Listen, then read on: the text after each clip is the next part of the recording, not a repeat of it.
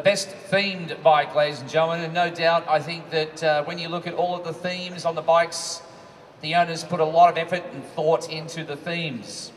The best themed bike for 2010 goes to Snake Charmer once again. Let's hear it for Snake Charmer.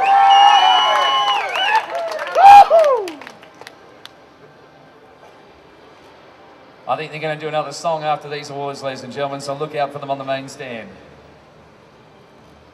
Oh, big round of applause again. Look, he's looking happy.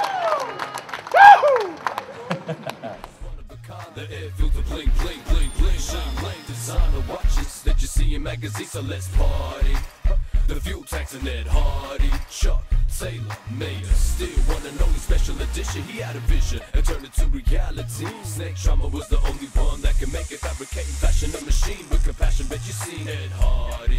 When he walks the street with Ed Hardy. Now we ride the street with Snake Charmer choppers and we bring it live for you to see in front of your eyes. But have you ever seen a chopper like this dressed in designer fabric of Ed Hardy